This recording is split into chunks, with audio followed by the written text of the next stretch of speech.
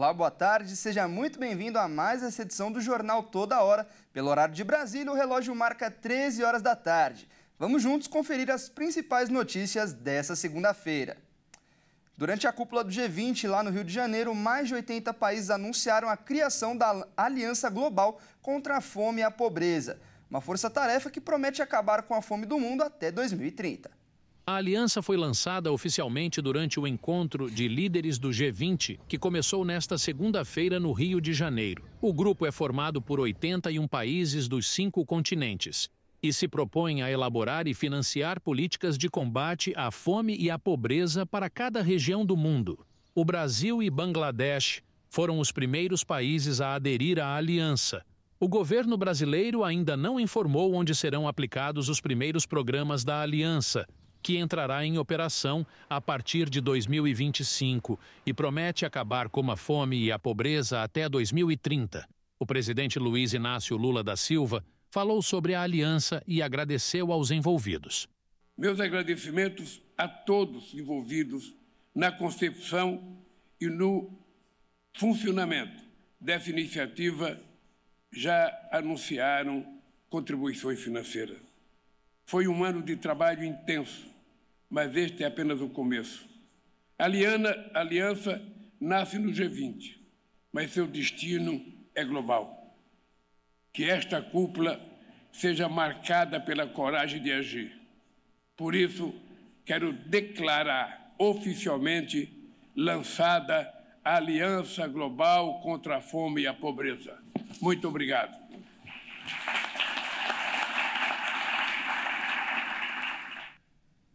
E olha só, 27 milhões de reais do abono salarial PIS-PASEP é liberado para os trabalhadores que não sacaram o pagamento em agosto. Cerca de 30 mil trabalhadores devem receber o benefício.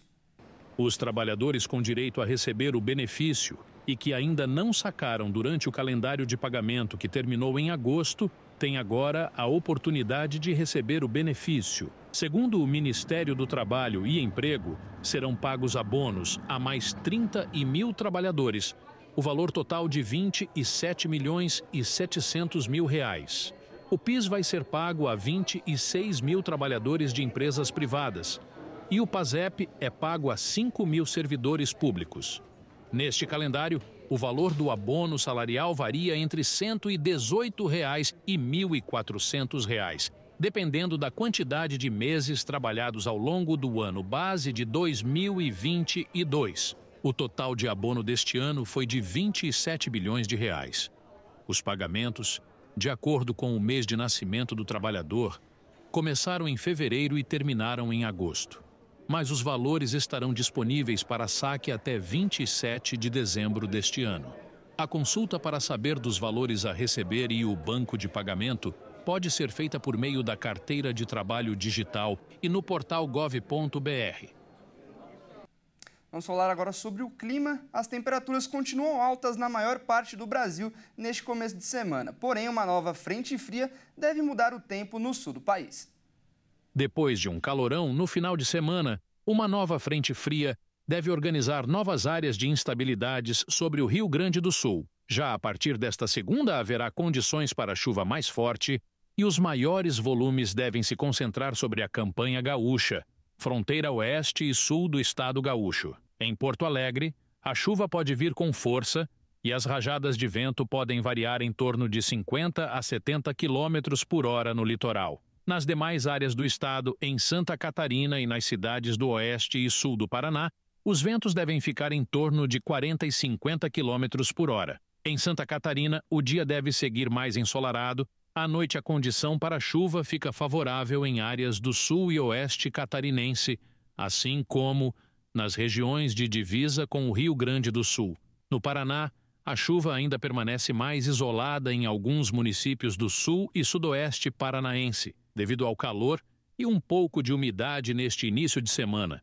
A maior parte da região sudeste começa a semana com temperaturas em elevação, muito sol e pancadas de chuva associadas a calor e umidade, especialmente no interior e norte de São Paulo, na capital e boa parte do litoral sul e Baixada Santista, ficam sem chuva nesta segunda. Já os estados de Minas Gerais, Rio de Janeiro e Espírito Santo seguem com a condição para pancadas de chuva ganhando força a partir do período da tarde. Deve chover forte no centro-oeste, desde o sudoeste da Bahia até Mato Grosso. No litoral do Nordeste, sol, calor e chuva passageira. No norte, calor e umidade seguem contribuindo para a formação de nuvens carregadas sobre todos os estados da região.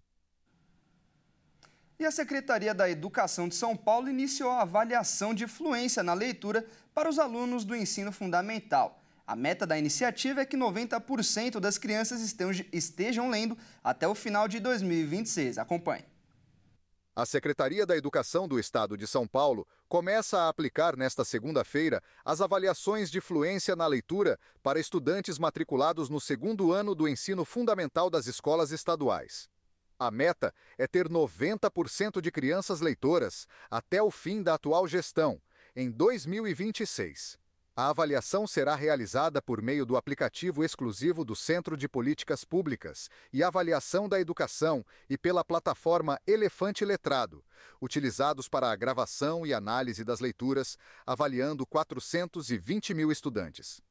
De acordo com Márcia Bernardes, técnica da secretaria responsável pela cooperação pedagógica com os municípios, esta será a primeira vez que a educação de São Paulo poderá estabelecer duas comparações importantes de desempenho das crianças do segundo ano. Primeiro, com os resultados dos alunos do segundo ano, do final do ano passado, com 64 das crianças consideradas leitoras fluentes, em comparação com os resultados dos alunos do início deste ano letivo, que ingressaram na turma em 2024. E essa edição fica por aqui. Eu volto às 14 horas com mais notícias do Jornal Toda Hora. Até mais.